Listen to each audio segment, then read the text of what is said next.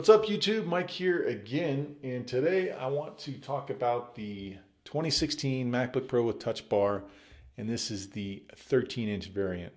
If you're a fan of my channel or if you watched videos before you know I've tested the 15 inch variant of this and um, this is essentially going to be very similar to it. Um, but let's get to it. So first thing really, obviously um, build quality Really no change from the 15 inch variant. This thing is just beautifully built. I mean, I just, I don't know that you could really find a another laptop that's quite as, um, I guess, good looking and just the quality of this. Honestly, it's, I mean, a solid piece of aluminum. I mean, you love or hate Apple, you can't fault the hardware, but um, really no change from the 15 inch. You still got your four type USB-C ports on this, which honestly, having used either the 15 inch 2016 with Touch Bar or this one for the last uh, month, I've been using it and I've it really does not bother me at all. I actually am starting to like the USB Type C's just because of the versatility to it. I love being able to charge this with a, any external ba- battery pack. I mean, it works well. It trickle charges, and um, it's good to go. It just really, I mean, it works like it should. So honestly, I haven't had any issues with that whatsoever. And the SD card slot thing, that kind of bugged me at first with the 15 inch, but I really came to realize that I rarely use it because I'll use either a reader, then plug it in, or I'll plug my camera directly into my computer. And I already got a dongle, so I'm good there. So really one dongle is all I personally need. So for me, the ports have actually not been an issue. So, but the reason I actually switched to this over the 15 inch is ultimately the price.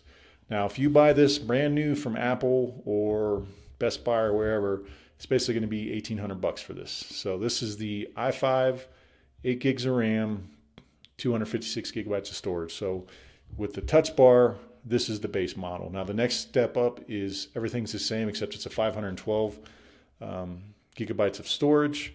But the biggest reason I switched to this is the price. Now, I was lucky on this. I didn't have to pay retail.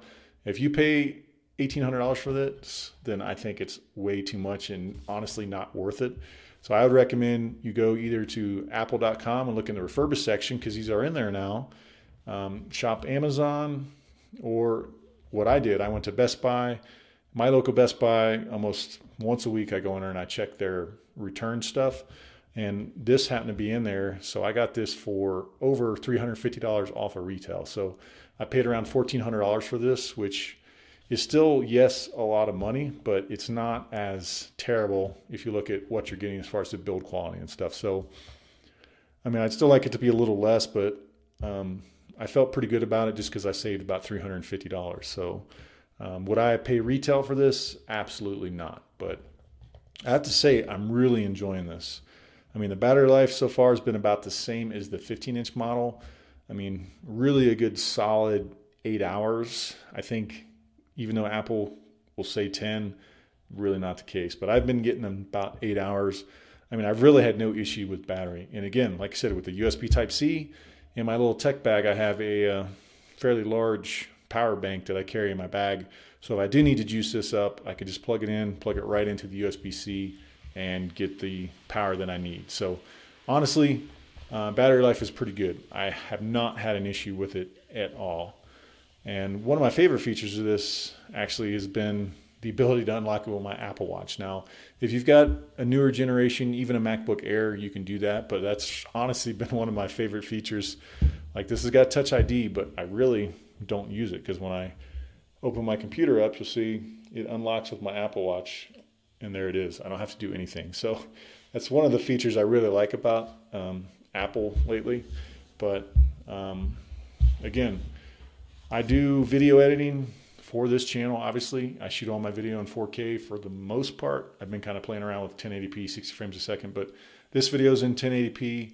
My last couple videos have been I'm sorry, this one's in 4K. My last couple have been 4K, and I edited them on this machine. So that was kind of my worry going from the 15 inch to the 13 inch was the ability to edit 4K video. Now I'm using Final Cut Pro, which I love because I'm coming from Premiere Pro, and again, Premiere Pro, you can still do a lot more stuff, but for my personal needs, I'm never going to use 90% of it. But um, to me, Final Cut Pro is it's a lot more of a simpler interface, to be honest with you, and just the efficiency. Final Cut Pro is constantly rendering the video in the background, whereas Adobe Premiere Pro, it doesn't do it till the end. So you got longer export times. But with this, editing 4K video, like I said, this is the base model.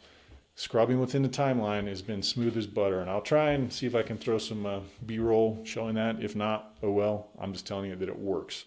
But scrolling, scrubbing in the timeline, I have not noticed any lag whatsoever.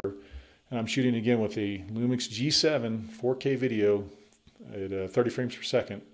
And the timeline within Final Cut Pro on this thing is butter.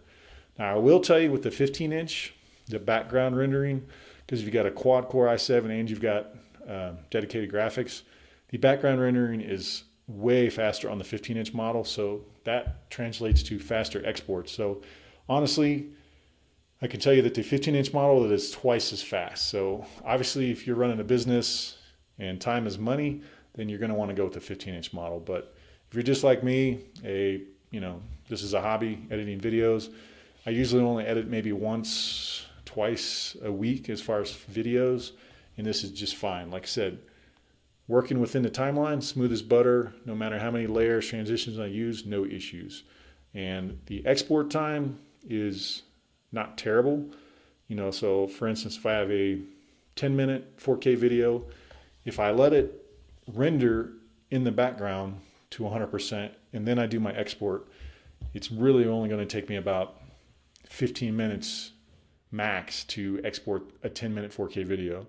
Now, if I edit it really fast, so if you're really fast at editing and it doesn't have time to render all the way, when you do your export, that time is going to be added on there. So then it might take you 30 minutes to do a 10 minute 4K video. But again, you can always do something else. So if you're not in a time crunch, you know, watch TV, do whatever, or surf the internet, watch YouTube videos, it'll eventually get done. And it's not terrible. So to be honest with you, it is very usable, no issue with it. But again, if you're doing 20, 30 minute 4K videos, then obviously you're going to want the 15 inch model. But my videos are usually only about 10 minutes max, and this honestly is perfect for it if you're using Final Cut Pro. Like I said with the 15 inch video, if you're using Premiere Pro, don't buy a Mac, get a PC, to be honest with you. But I have to say though that I'm really loving this. And the reason, the other reason I went with this besides the money was the form factor. I love how compact, how light, how thin this thing is. I mean, it is just it really is a piece of art to be honest with you. But this fits in my little tech bag that I use and no issues. It's light. I carry it with me everywhere I go, as far as when I go to work, if I go to the coffee shop. And I'm starting a class soon, and I plan on using this as my primary machine for that. So um, I'm I really have nothing but good things to say about this. So my only caveat, like I said, is do not pay retail. So unless you just got money to burn, I mean, it's not worth $1,800. I'll tell you straight up. But if you can save a couple hundred bucks, in my case, I saved 350 bucks, then it is totally worth it. I would recommend it. Now, obviously, Microsoft is coming out with the Surface laptop, which is kind of comparable depending on what specs you get. I mean, this is way more expensive if you pay retail, to be honest with you, for the same specs in the upcoming um, Surface laptop.